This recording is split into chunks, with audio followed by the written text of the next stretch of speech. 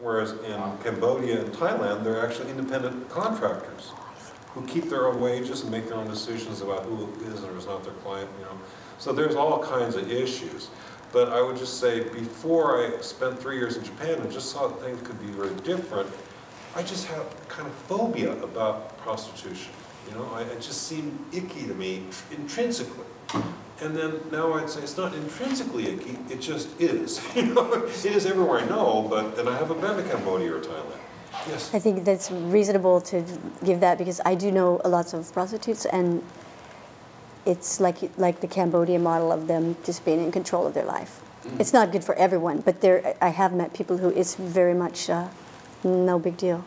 There was a uh, Korean American woman on the Philosophy Talk show on public radio